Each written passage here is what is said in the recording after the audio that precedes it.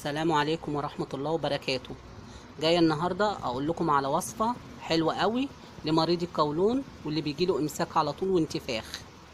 حاجة بتتجاب من عند العطار بتتباع يعني متوفرة اسمها سلامكة عاملة زي ورقة الشجر أهي. وسهلة قوي بتتعمل بسهولة جدا تسخني لها مية تغليها وبعد كده تقومي حاطة المية عليها. عشرة عشر أو خمس دقايق يعني بالكتير قوي. وهتلاقي لونها اتخرط وبقى زي الشاي. في ناس بتشربها من غير سكر خالص عشان السكر بيسبب انتفاخ. وبيسبب وبيعمل غازات. ممكن تشربيها دلعة وممكن تحط لها معلقة عسل على حسب ما بتحبي. تشربيها تشربي منها كوباية على الريق الصبح أو قبل النوم بالليل. وده هيريحك جدا. تشربيها لمدة عشر أيام.